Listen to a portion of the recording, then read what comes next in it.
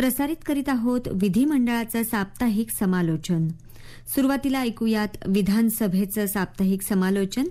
लेखक किरण हेगडे. शेतकऱ्यांची वीज जोडणी तोडण्याच्या मुद्द्यावर विरोधक आक्रमक कामकाज दोन वेळा आणि पुढे दिवसभरासाठी तहकूब. राज्यातल्या स्थानिक स्वराज्य संस्थांच्या निवडणुका जाहीर करण्याआधी निवडणूक आयोगाला सरकारशी चर्चा करणं बंधनकारक करणारं विधेयक एकमतानं मंजूर. भारतीय जनता पार्टीच्या नेत्यांविरुद्ध सरकारनं षडयंत्र रचल्याचा विरोधी पक्षनेते देवेंद्र फडणवीस यांचा आरोप. महाराष्ट्राचा आर्थिक पाहणी अहवाल सादर. भारतीय जनता पार्टीच्या बारा निलंबित आमदारांचं निलंबन रद्द करण्याच्या विषयावर गदारोळ कामकाज अर्धा तास तहकूब आणि राज्याचा चोवीस हजार तीनशे त्रेपन्न कोटींचा तुटीचा अर्थसंकल्प. उपमुख्यमंत्री आणि वित्तमंत्री अजित पवार यांच्याकडून सादर. ही होती विधानसभेतल्या सरत्या आठवड्याच्या कामकाजाची काही ठळक वैशिष्ट्य. सोमवारी विधानसभेच्या दुसऱ्या आठवड्याच्या कामकाजाला प्रश्नोत्तरानं सुरुवात झाली. प्रश्नोत्तराचा तास संपताच विरोधी पक्षनेते देवेंद्र फडणवीस यांनी शेतकऱ्यांच्या कर्जमाफीचा तसंच नियमित कर्जफेड करणाऱ्या शेतकऱ्यांना पन्नास हजार रुपयांचं अनुदान देण्याचा मुद्दा उपस्थित केला. उपमुख्यमंत्री अजित पवार यांनी त्यावर भाष्य केलं. दोन लाखांपेक्षा जास्त कर्ज घेतलेल्या शेतकऱ्यांच्या कर्जमाफीचा तसंच पन्नास हजार रुपयांच्या अनुदानाची घोषणा मुख्यमंत्री उद्धव ठाकरे यांनी केली होती. यातलं एक आश्वासन यंदा तर दुसरं आश्वासन पुढच्या वर्षी पूर्ण केलं जाईल असं ते म्हणाले. अपक्ष सदस्य रवी राणा यांनी त्यांच्याविरोधात नोंदवलेल्या गुन्ह्याचा विषय सभागृहात मांडला. अमरावतीच्या महापालिका आयुक्तांवर शाईफेक झाली. तेव्हा आपण दिल्लीत रेल्वेच्या बैठकीत सहभागी झालो होतो. तरीही आपल्या विरोधात तीनशे सात तसंच तीनशे त्रेपन्न कलमाखाली गुन्हा दाखल करण्यात आला असं ते म्हणाले. सरकारनं याची नोंद घ्यावी असे निर्देश उपाध्यक्षांनी दिले. गृहमंत्री दिलीप वळसे पाटील यांनी राणा यांच्या प्रकरणाची कायदा आणि सुव्यवस्था विभागाच्या अतिरिक्त पोलीस महासंचालकांकरवी चौकशी केली जाईल असं आश्वासन दिलं. सोलापूर जिल्ह्यातल्या पंढरपूर तालुक्यातल्या मगरवाडी इथल्या एका तरुण शेतकऱ्यानं फेसबुक लाईव्ह करत विष घेऊन आत्महत्या केली. राज्य सरकारकडून कृषी पंपांच्या वीज जोडण्या कापल्या जात असल्यामुळे अनेक शेतकरी आत्महत्येच्या मनस्थितीत आहेत. या विषयावर तातडीनं चर्चा करून मार्ग काढावा अशी विनंती विरोधी पक्षनेते फडणवीस यांनी स्थगन प्रस्तावाच्या सूचनेच्या माध्यमातून केली. परंतु उपाध्यक्ष झिरवाळ यांनी ती सूचना नाकारत शासनाला निवेदन करण्याचे निर्देश दिले. कुणाल पाटील यांनी शेतकऱ्यांच्या कृषी पंपाची वीज तोडली जात असल्याचा विषय एका लक्षवेधी सूचनेद्वारे मांडला. ऊर्जामंत्री डॉक्टर नितीन राऊत यांनी याला उत्तर देताना अंतिम वीज बिल भरणाऱ्या शेतकऱ्यांची वीज कापली जात नसल्याचं सांगितलं. पण फडणवीस यांनी चालू बिलच सर्व थकबाकीसह दिलं जात असल्याचं सांगत आम्हाला उपमुख्यमंत्र्यांकडूनच उत्तर हवं आहे असा आग्रह धरला. त्याचवेळी विरोधकही घोषणा देत अध्यक्षांच्या समोरच्या मोकळ्या जागेत जमा झाले. त्याचाच उपाध्यक्षांनी पुढची लक्षवेधी सूचना पुकारली. तेव्हा विरोधक अधिकच आक्रमक झाले. अखेर उपाध्यक्षांनी दहा मिनिटांसाठी कामकाज तहकूब केलं. कामकाज पुन्हा सुरू होताच फडणवीस यांनी पुन्हा उपमुख्यमंत्री अजित पवार यांच्याकरता आग्रह धरला. सहकार मंत्री बाळासाहेब पाटील यांनी उपमुख्यमंत्री येईपर्यंत कामकाज न थांबवण्याचं आवाहन केलं. तेव्हा विरोधी पक्षनेत्यांनी महाराष्ट्र नगरपालिका नगरपंचायती ग्रामपंचायती पंचायत समिती महापालिका सुधारणा विधेयक मांडण्यात यावं अशी सूचना केली. त्यानुसार नगरविकास मंत्री एकनाथ शिंदे तसंच ग्रामविकास मंत्री हसन मुश्रीफ यांनी ही दोन विधेयकं मांडली. एकमतानं ती पारित करण्यात आली. या विधेयकांमुळे महापालिका नगरपालिका पंचायत समित्या जिल्हा परिषद आदी स्थानिक स्वराज्य संस्थांच्या निवडणुका जाहीर करण्यापूर्वी राज्य निवडणूक आयोगाला सरकारशी चर्चा करावी लागणार आहे. या विधेयकांनंतर दिलीप वळसे पाटील यांनी महिलांच्या सुरक्षिततेसाठी येणाऱ्या शक्ती कायद्याच्या संयुक्त समितीच्या इतिवृत्ताला मंजुरी देणारा प्रस्ताव मांडला. विरोधक पुन्हा आक्रमक झाल्यानं उपाध्यक्षांनी सभागृहाचं कामकाज पंचवीस मिनिटांसाठी तहकूब केलं. कामकाज पुन्हा सुरू होताच पुन्हा विरोधकांनी शेतकऱ्यांच्या वीज जोडणी तोडण्याच्या मुद्द्यावर उपमुख्यमंत्र्यांच्या उत्तराची मागणी केली. विरोधक घोषणाबाजी करत अध्यक्षांच्या समोरच्या मोकळ्या जागेत जमा झाले. त्यातच उपाध्यक्षांनी राज्यपालांच्या अभिभाषणावर आभार मानणाऱ्या प्रस्तावावर चर्चा पुकारली. गदारोळातच काही खात्यांच्या पुरवण्या मागण्याही कोणत्याही चर्चेशिवाय मंजूर करण्यात आल्या आणि सभागृहाचं कामकाज दिवसभरासाठी तहकूब करण्यात आलं. मंगळवारी जागतिक पहिल्या दिनाचं औचित्य साधत कामकाज सुरू होताच उपाध्यक्ष नरहरी झिरवाळ यांनी सभागृहातल्या महिला सदस्यांना शुभेच्छा दिल्या. प्रश्नोत्तराच्या तासानं नियमित कामकाजाला सुरुवात झाली. पराग अळवणी यांनी कुर्ल्याच्या प्रीमियर कंपनीच्या जागेवरच्या पुनर्वसन प्रकल्पाचा विषय एका तारांकित प्रश्नाच्या माध्यमातून उपस्थित केला. गृहनिर्माण मंत्री जितेंद्र आव्हाड यांनी त्याला उत्तर दिलं. राज्यातल्या विविध एसआरए प्रकल्पांसाठी एमनेस्टी स्कीम येत्या दोन दिवसात जाहीर करू अशी घोषणा त्यांनी यावेळी केली. दुपारच्या सत्रात गृह सहकार तसंच आरोग्य विभागाच्या पुरवणी मागण्यांवर चर्चा झाली. यात बहुसंख्य सदस्यांनी गृह खात्याच्या कारभारावर टीका केली. विरोधी पक्ष नेते देवेंद्र फडणवीस यांनी विरोधी पक्षांच्या वतीनं राज्यातली कायदा सुव्यवस्था तसंच ओबीसींचं राजकीय आरक्षण विविध परीक्षांमध्ये झालेले घोटाळे अशा विविध विषयांवर चर्चा सुरू केली. भारतीय जनता पार्टीला संपवण्यासाठी राज्य सरकार सरकारी वकील आणि पोलिसांच्या माध्यमातून षडयंत्र रचत असल्याचा स्टिंग ऑपरेशनचे कित्येक व्हिडिओचा पेनड्राईव्ह अध्यक्षांकडे सोपवत फडणवीस यांनी या संपूर्ण प्रकरणाची सीबीआयकडे चौकशी सोपवण्याची मागणी केली. मुंबईत बॉम्बस्फोट करवणाऱ्या दाऊद इब्राहिमच्या हस्तकांशी व्यवहार करणारे नवाब मलिक यांना मंत्रिमंडळातून काढून टाकावं अशी मागणीही त्यांनी केली. बडतर्फ पोलीस अधिकारी सचिन वाझे यांना पुन्हा पोलीस खात्यात नेमणूक करण्यासाठी राष्ट्रवादी काँग्रेसचे अध्यक्ष शरद पवार यांचीही संमती होती असा आरोप समाजवादी पार्टीचे अबू आझमी यांनी केला. सरकारनं गेल्या सत्तावीस महिन्यांच्या काळात अरबी समुद्रातल्या छत्रपती शिवाजी महाराजांच्या स्मारकाबद्दल काय केलं असा सवाल चंद्रकांत पाटील यांनी केला. आपल्या काळातच या स्मारकासाठी सर्व त्या परवानग्या मिळवल्या होत्या पण कोणीतरी सर्वोच्च न्यायालयात गेलं आणि त्या स्मारकाच्या उभारणीला स्थगिती मिळाली. ही स्थगिती उठवण्यासाठी सरकारनं काय प्रयत्न केले ते सरकारनं स्पष्ट करावं असं ते म्हणाले. बुधवारी प्रश्नोत्तराच्या तासानं विधानसभेच्या कामकाजाला सुरुवात झाली. प्रश्नोत्तराच्या तासानंतर विरोधी पक्षनेते देवेंद्र फडणवीस यांनी अल्पसंख्याक विकास मंत्री नवाब मलिक यांना मंत्री मंत्रिमंडळातून काढून टाकण्याची मागणी केली. यावेळी झालेला गदारोळ लक्षात घेता उपाध्यक्षांनी सभागृहाचं कामकाज अर्ध्या तासासाठी तहकूब केलं. गुरुवारी प्रश्नोत्तराच्या तासानं कामकाजाला सुरुवात झाली. राज्यातल्या सर्व तलाठ्यांना त्यांच्या सज्जातच थांबण्याच्या सूचना असून यानंतरही जे तलाठी सज्जांमध्ये राहणार नाहीत त्यांचं घरभाडं बंद करण्याचा निर्णय घेण्यात येईल असं महसूल मंत्री बाळासाहेब थोरात यांनी राधाकृष्ण विखे पाटील यांच्या तारांकित प्रश्नाच्या उत्तरात सांगितलं. भास्कर जाधव यांनी जुलै महिन्यात झालेल्या विधानसभेच्या अधिवेशनात निलंबित झालेल्या भारतीय जनता पार्टीच्या बारा आमदारांना विधानसभेत कोणत्या आधारावर परत प्रवेश दिला? संसदीय अधिकारात हा न्यायालयीन हस्तक्षेप नाही का? असा सवाल उपस्थित करत सभागृहाचं लक्ष या विषयाकडे नेलं. यावेळी विरोधी पक्षाचे सदस्य आक्रमक झाले आणि गदारोळामुळे उपाध्यक्ष नरहरी झिरवाळ यांनी सभागृहाचं कामकाज सव्वीस मिनिटांसाठी तहकूब केलं. निलंबित आमदारांच्या वतीनं आशिष शेलार यांनी न्यायालयाचा निर्णय तपशिलात सांगितला. संसदीय कामकाज मंत्री अनिल परब यांनी सर्वोच्च न्यायालयानं निलंबनाचा ठराव अवैध म्हटलेला नाही त्यांनी फक्त शिक्षा सौम्य केली असं स्पष्ट केलं. राज्याचा आर्थिक पाहणी अहवाल तसंच इतर कागदपत्रं सभागृहात सादर झाल्यानंतर लक्षवेधी सूचनांवर चर्चा झाली.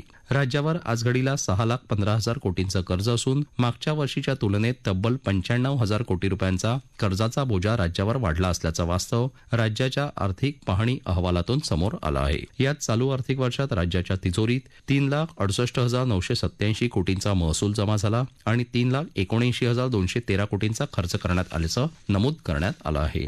पाहणी अहवालातल्या या आकडेवारीच्या अनुषंगानं राज्याची महसुली तूट दहा हजार दोनशे सव्वीस कोटींवर पोहोचली आहे. विरोधी पक्षनेते तसंच विरोधी पक्षांचे बहुतांश सदस्य हजर नसल्यामुळे गृह खात्यावर झालेल्या चर्चेवरच्या उत्तर आपण सोमवारी देऊ असं गृहमंत्री दिलीप वळसे पाटील यांनी जाहीर केलं. शुक्रवारी प्रश्नोत्तराच्या तासानं कामकाजाला सुरुवात झाली. छत्रपती संभाजी महाराजांच्या पुण्यतिथीच्या निमित्तानं सरकारनं औरंगाबाद शहराचं नाव संभाजीनगर केल्याची घोषणा करावी अशी मागणी सुधीर मुनगंटीवार यांनी प्रश्नोत्तराच्या तासानंतर केली. दुपारच्या सत्रात उपमुख्यमंत्री तसंच वित्तमंत्री अजित पवार यांनी महाविकास आघाडी सरकारचा तिसरा चोवीस हजार तीनशे त्रेपन्न कोटी रुपये तुटीचा अर्थसंकल्प विधानसभेत सादर केला. येत्या आर्थिक वर्षात चार लाख तीन हजार चारशे सत्तावीस कोटी रुपयांची महसुली जमा अपेक्षित असून चार लाख सत्तावीस हजार सातशे ऐंशी कोटींचा अपेक्षित खर्च आहे. कृषी आरोग्य मनुष्यबळ विकास दळणवळण आणि उद्योग या पंचसूत्रीवर आधारित योजनांसाठी येत्या तीन वर्षात चार लाख कोटी उपलब्ध करून देण्यात येतील अशी घोषणा त्यांनी यावेळी केली. अर्थसंकल्प सादर झाल्यानंतर उपाध्यक्ष झिरवाळ यांनी सभागृहाचं कामकाज सोमवारपर्यंत तहकूब केलं आहे. विधानसभेचं साप्ताहिक समालोचन आत्ताच आपण ऐकलं लेखन केलं होतं किरण हेगडे यांनी आणि वाचनस्वर होता संदेश नाईक यांचा. आता ऐकूया विधान परिषदेचं साप्ताहिक समालोचन. लेखक विनय खरे. राज्य विधिमंडळ कामकाजाचा दुसरा आठवडा अखेर शुक्रवारी संपला. राज्याच्या राजकारणात आरोप प्रत्यारोपानं होत असलेल्या वेगवान घडामोडी पाहता अर्थसंकल्प तर मांडला जाईल पण त्यानंतर आगामी काळात नेमकं काय होणार याची उत्सुकता प्रत्येकाच्या मनात दिसून येत आहे. सध्या रकमेच्या गैरव्यवहार प्रकरणी अटकेत असलेल्या मंत्री नवाब मलिक यांच्या राजीनाम्याची मागणी करत विरोधकांचा सभागृहात गोंधळ. यावर सरकारकडून झालेलं दुर्लक्ष राज्य एसटी संप प्रकरणी चर्चेद्वारे तोडगा काढण्याची विरोधकांची मागणी सभापती रामराजे नाईक निंबाळकर यांनी तसे दिलेले निर्देश यात सरकारची अनुकूलता असली तरी गेल्या दोन दिवसात काहीही हालचाल दिसत नसणे हे पाहता अधिवेशनाचा पुढील रोग कसा असेल हे सांगता येणं कठीण आहे. चोवीस हजार कोटी रुपये तुटीचा आणि कोणतीही करवाढ नसलेला अर्थसंकल्प सरकारनं सादर केला. आकारमानाचा विचार करता मागीलपेक्षा यावेळच्या अर्थसंकल्प तेरा टक्के इतका मोठा आहे. यावेळी आरोग्य व्यवस्थेवर गेल्या वेळेपेक्षा कमी तरतूद करण्यात आली आहे. यासाठी आता एकोणीस हजार नऊशे वीस कोटी रुपये दिले जातील. तर पोलीस शालेय शिक्षण पर्यटन गृहनिर्माण यासाठी अधिक रक्कम दिली आहे. यंदा महसूल मिळवून देणाऱ्या महसूल विभागाला एक हजार आठ कोटी रुपये दिले आहेत. शालेय शिक्षण विभागाला पंच्याहत्तर हजार एकशे ब्याऐंशी कोटी रुपये मिळाले आहेत जे मागील वेळेपेक्षा आठ हजार कोटी रुपयांनी जास्त आहेत. पोलीस गृह विभागाला तेवीस हजार नऊशे पंधरा कोटी रुपये अशी घसघशीत रक्कम दिली आहे. यात पोलीस पाच हजार सहाशे अकरा कोटी तर कारागृह पाचशे पंचवीस कोटी रुपये देण्यात आले आहेत. मंत्री चव्हाण यांच्या सार्वजनिक बांधकाम विभागाला दोन हजार तीनशे पासष्ट कोटी रुपये मिळाले आहेत पशुसंवर्धनसाठी एक हजार सातशे पंच्याहत्तर कोटी तर दुग्ध व्यवसायासाठी चारशे छप्पन्न कोटी रुपये देण्यात आले आहेत. क्रीडा युवक कल्याणासाठी सातशे एकवीस कोटी रुपये मिळतील. गृहनिर्माण क्षेत्राला सात हजार सहाशे एकसष्ट कोटी रुपये. उद्योग विभाग तीन हजार एकशे सात कोटी रुपये दिलेत जे मागील तुलनेत खूपच कमी आहेत. आदित्य ठाकरे यांच्या पर्यटन विभागाच्या तरतुदीत सुमारे हजार कोटींनी वाढ करून ते दोन हजार एकशे चाळीस कोटी रुपये केले आहेत. सातारा औद्योगिक क्षेत्र एमआयडीसीकडून विकसित करण्यात येत असून काही उद्योजकांकडून विस्तारीकरणाची मागणी होत आहे. मात्र शेतकऱ्यांचा तीव्र विरोध आहे असं असल्यास जमीन संपादित करायची नाही हे शासनाचं धोरण आहे. त्यामुळे येथील होणारी प्रक्रिया वगळण्यात येईल असं आश्वासन मंत्री सुभाष देसाई यांनी दिलं. राज्यमंत्री आदिती तटकरे यांनी त्यावर उत्तर देण्याचा प्रयत्न केला पण सदस्यांचं समाधान झालं नाही. शशिकांत शिंदे चंद्रशेखर बावनकुळे आदींनी लक्षवेधी सूचना दिली होती. नागपूर जिल्हा सत्र न्यायालयाची जुनी इमारत वारसा यादीत येत असल्यानं ती न पाडता विस्तारित इमारतीच्या बांधकामाकरता पस्तीस कोटी रुपयांची प्रशासकीय मान्यता दिली होती. आता मुंबई उच्च न्यायालयाच्या प्रस्तावावरून या इमारतीच्या त्र्याण्णव कोटी चोवीस लाख इतक्या रकमेच्या प्रस्तावाला मान्यता दिली आहे अशी माहिती विधी न्याय राज्यमंत्री आदिती तटकरे यांनी दिली. सदर इमारतीत सर्व खोल्यांमधून वातानुकूलित यंत्रणा बसवली जाणार आहे वाहनतळ म्हणून दोन मजले असतील असं यावेळी सांगण्यात आलं. अभिजित वंजारी बावनकुळे आदींनी लक्षवेधी सूचना मांडली होती. यंदाच्या वर्षात ऊसाचं उत्पादन वाढीव आहे. त्या त्या भागातलं गाळप झाल्याशिवाय साखर कारखाने बंद करू नयेत अशा सूचना साखर कारखान्यांना देण्यात आल्याचं सहकार पणनमंत्री बाळासाहेब पाटील यांनी सांगितलं. ऊसाचा मोबदला एक रकमी देण्याचा केंद्र शासनाचा निर्णय धुडकावून दोन हप्त्यात देण्याच्या निर्णयाला कडाडून विरोध करण्यात आला. यावर सदाभाऊ खोत गोपीचंद पडळकर यांच्या लक्षवेधी सूचनेवर शशिकांत शिंदे अंबादास दानवे यांनी चर्चेत सहभाग घेतला. मात्र सरकारच्या निर्णयाचं समर्थन करत मंत्री पाटील म्हणाले की राज्यातल्या कारखान्यात गाळपासाठी आलेल्या ऊसासाठी किंमत अदा करण्याच्या पद्धतीत सुधारणा करणं आवश्यक होतं.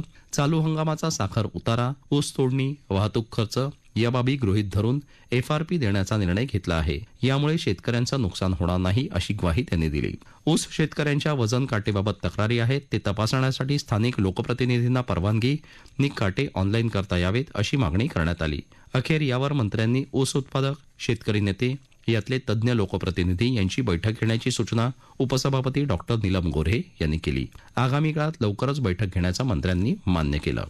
राज्याच्या आर्थिक पाहणीचा अहवाल गुरुवारी सभागृहात सरकारनं सादर केला. अर्थ राज्यमंत्री शंभूराज देसाई यांनी तो मांडताना आर्थिक वाढीचा दर बारा पूर्णांक एक टक्के इतका असेल असं स्पष्ट केलं.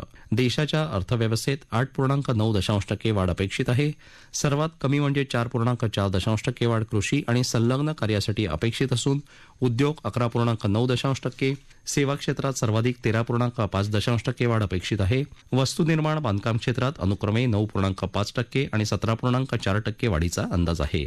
राज्याचं स्थूल वार्षिक उत्पन्न एकतीस लाख सत्त्याण्णव हजार सातशे ब्याऐंशी कोटी रुपये तर निव्वळ उत्पन्न एकवीस लाख अठरा हजार तीनशे नऊ कोटी रुपये अंदाजित हे राज्याचं दरडोई उत्पन्न दोन लक्ष पंचवीस हजार त्र्याहत्तर रुपये असेल असं या अहवालात नमूद केलं आहे. कोरेगाव इथं इंग्रजांसमवेत झालेल्या लढाईत महार रेजिमेंट इंग्रजांच्या बाजूने लढले. इंग्रजांनी छत्रपती शिवरायांच्या मावळ्यांवर आक्रमण केलं होतं. त्यामुळे त्यांच्या विजयाला शौर्य दिन कसं घोषित करू शकतो असा सवाल शिवसेनेच्या दिवाकर रावते यांनी सोमवारी उपस्थित केला.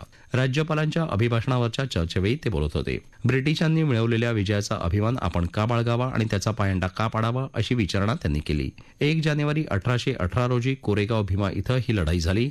पेशव्यांच्या पराभवात महार रेजिमेंटच्या मृत्युमुखी पडलेल्या सैनिक गौरवासाठी इंग्रजांनी विजयस्तंभ उभारला आहे. त्यामुळे या घटकाला महार रेजिमेंटचा अभिमान वाटत असेल. हा दिवस महाआघाडी सरकारनं शौर्य दिन म्हणून घोषित केला आहे. शौर्य दिन साजरा करायचा असेल तर तानाजी मालुसरे बाजीप्रभू देशपांडे यांनी स्वराज्यासाठी प्राणार्पण केले. त्यांच्या बलिदानाच्या दिवशी शौर्य दिन साजरा करावा अशी सूचना त्यांनी केली.